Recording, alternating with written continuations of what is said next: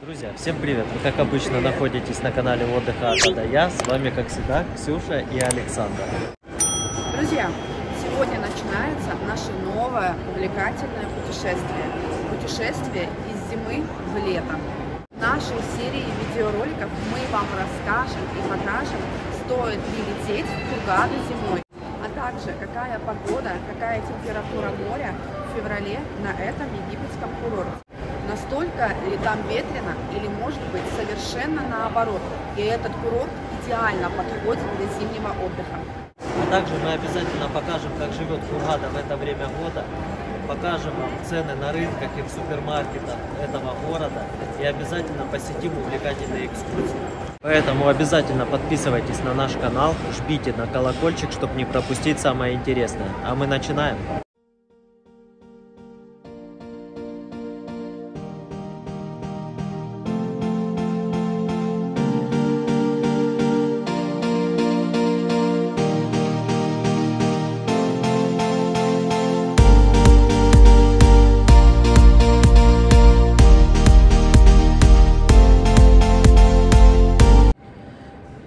Итак, друзья, прошли мы первый контроль, где у нас измерили температуру, мы предъявили билеты для входа в аэропорт и наши паспорта, так как э, сюда не пропускают именно провожающих, пропускают только людей, которые летят.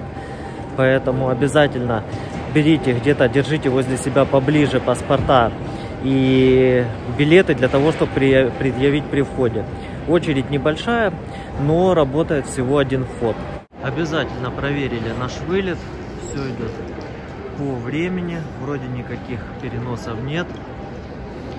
Из баров работает только Хайнекен и кафе Вох. Также из нововведений это лаборатория, которая расположена в аэропорту, где вы можете сдать тест на ковид.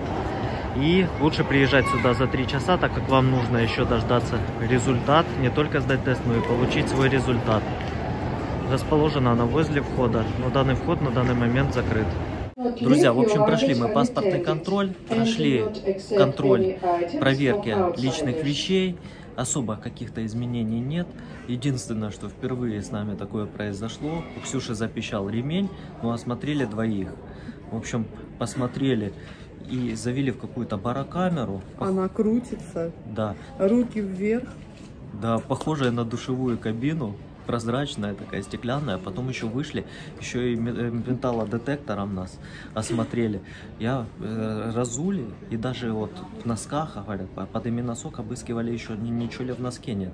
Ну, короче, вот такая вот ситуация. Пальцем Первый... на ногах обыскивали. В общем, весело было, но, слава богу, все обошлось, мы все прошли. Никаких больше проверок температуры, кроме как при входе, у нас не было.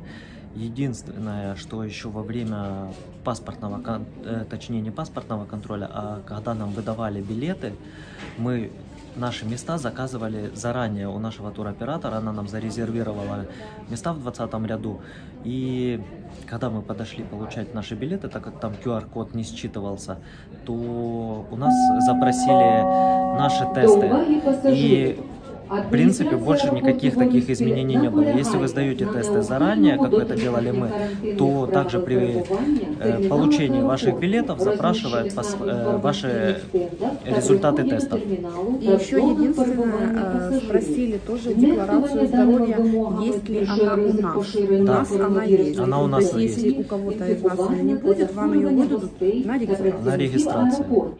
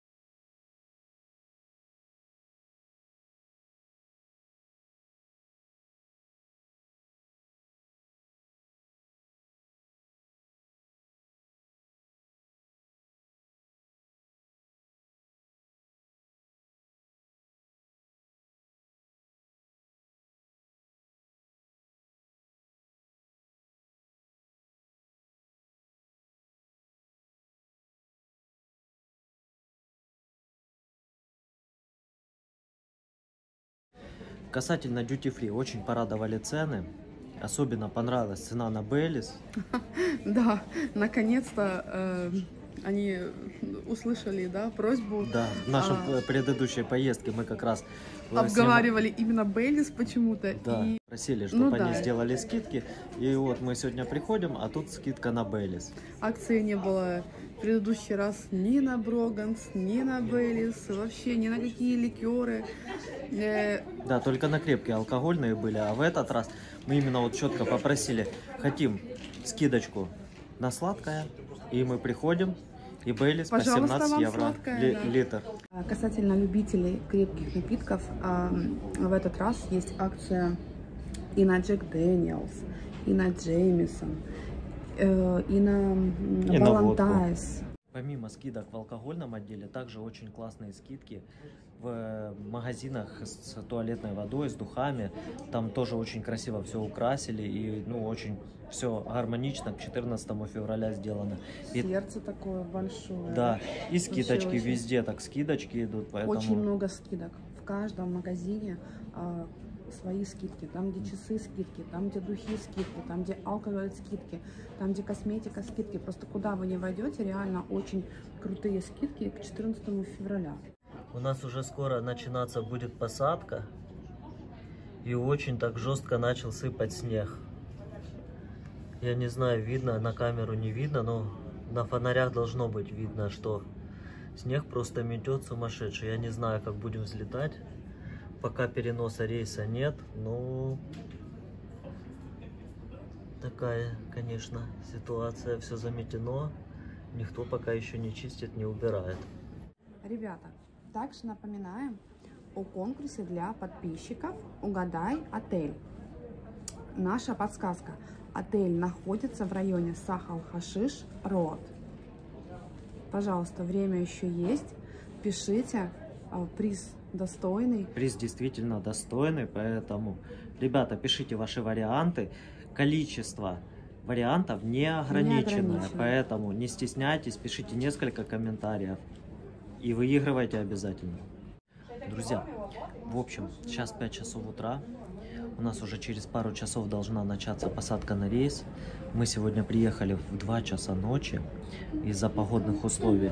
Ну, думали, дороги реально не расчищены, приехали заранее.